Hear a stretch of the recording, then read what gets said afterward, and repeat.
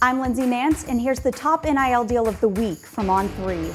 Some of the best players from LSU are stepping off the football field and into the drive through. They just partnered with Raising Cane's, and standout receiver Kayshon Boutte is leading the charge. As part of the deal, the Tigers went behind the counter to serve their community for the day. Boutte is one of the top returning receivers in the country, and he received high praise from the restaurant. They even put him and his teammates on a billboard.